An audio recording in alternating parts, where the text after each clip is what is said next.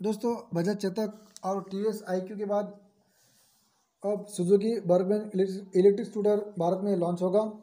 Suzuki electric scooter को testing के दौरान सड़कों पर देखा गया है। वह सुजुकी बर्गमैन मैक्सी स्कूटर जैसा ही दिखती है। इस स्कूटर में व्हील और फ्रंट टेलीस्कोप सस्पेंशन बिल्कुल बर्गमैन स्कूटर की तरह है। बात करेंगे इस स्कूटर की फीचर्स की तो इस स्कूटर में ब्लूटूथ और four G connectivity, digital instrument cluster और इसके साथ अपना स्मार्टफ़ोन भी कनेक्ट कर सकते हैं। इसके साथ S M S call alert, navigation, riding statistics, charging status, caller ID इस स्कूटर में देखने को मिलेंगे।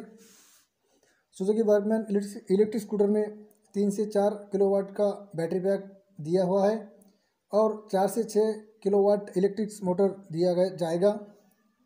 यह स्कूटर की टॉप स्पीड 80 किलोमीटर पर घंटे की होगी और 70 से 90 किलोमीटर की दूरी तय करेगी।